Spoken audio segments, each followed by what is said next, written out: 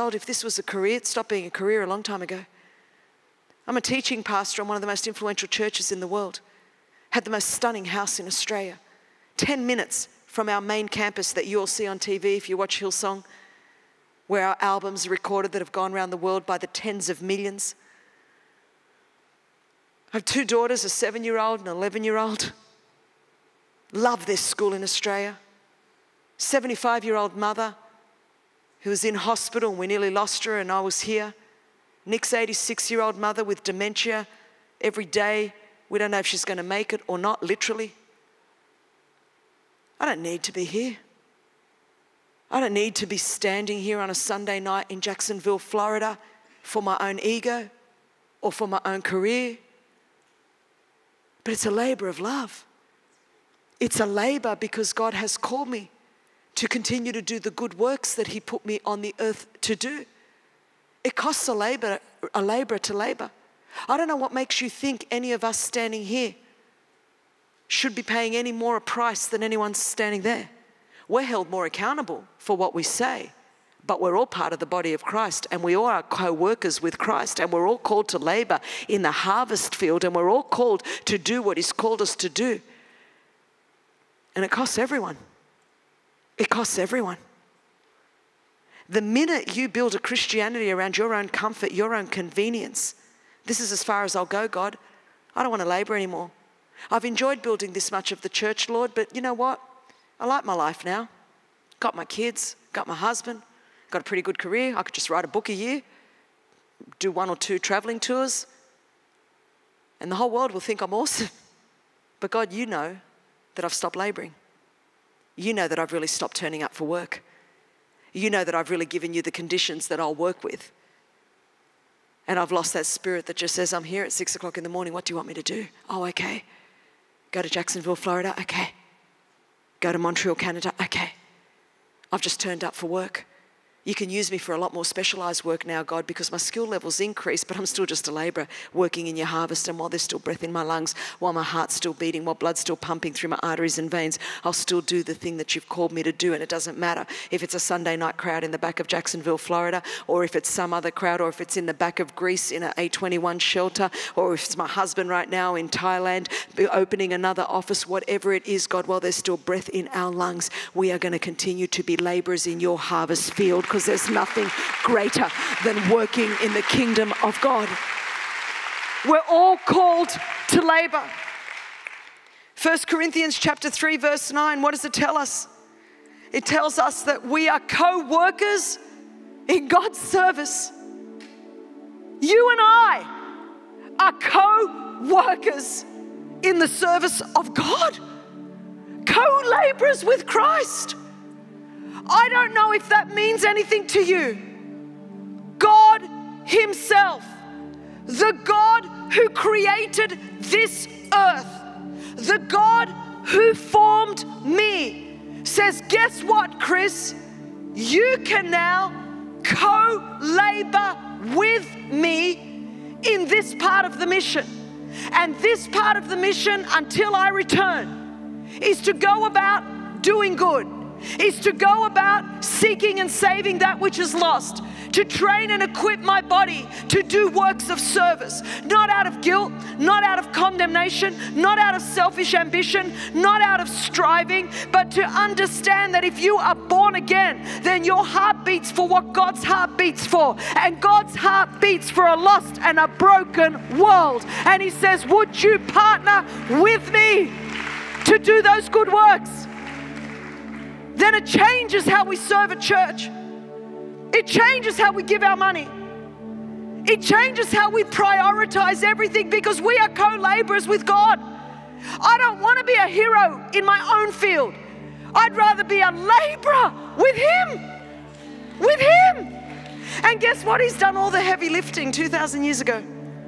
So I get, and I love Pastor Kerri talks about the rhythms of grace. You wonder how at 47 I still got this much energy. It's not because I'm anything great. I look after myself, but that's about it. But it's because His yoke is easy and His burden is light. And I'm not off trying to chase anything of myself. I'm not trying to build anything that God doesn't want me to co labor with Him. When you're trying to build your own tower on your own, it's exhausting. When you're co working with Him, you love it. You love it. You go, I get to co labor with God.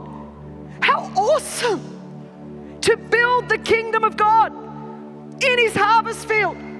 What greater job could there be? You couldn't offer me to be a CEO of a Fortune 500 company and me think it's any better, but it would be awesome if the CEO of a Fortune 500 company saw that as an opportunity to labor in the harvest field. Oh, it would start to change everything. And we could potentially be the generation that would usher in the second coming of Christ if we actually understood that the whole earth is the Lord's and the fullness thereof, everything in it and every person. And wherever we are placed, we are called to co labor with Him, not to strive in the flesh. See, I think the issue is, let me wrap this up. The issue is that um, most of us don't value, don't value being a co laborer with Christ. We'd rather be the supervisor, we'd rather be the viewer, the commentator. We, we don't, we don't want to be the laborers. We'd, we'd, rather set up boundaries. God, this is how much I'll give you. Because, of course, God, you want me to have a balanced life. And if it's inconvenient, if it's uncomfortable, if it doesn't have a remote control, if it doesn't have an app, you possibly would not want me to do that. I, I called this message, I forgot to tell you right from the outset, I called it um, No One Ever Drowned in Sweat. Thank you, United States Marine Corps. No one ever drowned in sweat. I think part of the challenge of our generation is eh, most people want to feel special, they don't want to be useful. And if we don't make you feel special enough at church, you're not going to serve. But a laborer just wants to be useful, they're not looking to be special. And God says, Wow, do you think your co laborer is special? Would you be a co worker with me? Would you know every time you turn up in the nursery, every time you come to sisterhood, every time you serve in the men's, ministry, every time you serve in the youth ministry, every time you come up here and you serve with the worship, did you, do you know you're a co laborer with me? You're not doing this alone. Every time you serve in the parking lot, every time you do a hospital visitation, every time you take a meal to a neighbor, every time you give a kind word, you're co laboring with Christ. What an awesome co worker. Think of your greatest co worker, doesn't even come close. See, laborers are not celebrities, they're laborers. Laborers are not heroes, they're laborers. We don't want to be laborers. We want to be celebrities. We want to be heroes. We want a position. We want a title. We want accolades. We want achievements. We want goals. We want plans. We want strategies. And God says, I'm just looking for co laborers. Oh, I'll take you further than you ever thought. We love to quote our scriptures. 2 Corinthians chapter 9, Ephesians 3:20. Look, I'm the queen of preaching all of those. But it's God that's able to do exceedingly abundantly above anything that ever uh, I could ever. You know what? I've almost stopped asking, hoping, and thinking because I'm like, God, you're going to blow me away anyway. I'm just going to turn up for work and you'll just blow me away. And I can tell you the honest truth. People look at my life and go, How? How? And it's a God wonder. It's a God wonder. Because I've said, God, all I want to be is a laborer. I couldn't think of a higher privilege than co laboring with you. The God of the universe, I get to co labor with you. Why would I think anything that I could do would be any better than that? You know, the truth is, laborers participate, they don't spectate. But most of us, we prefer to spectate at a Christian event rather than participate in advancing the kingdom of God. And God says, Church, We've got to move beyond just doing church and we've got to start being the church.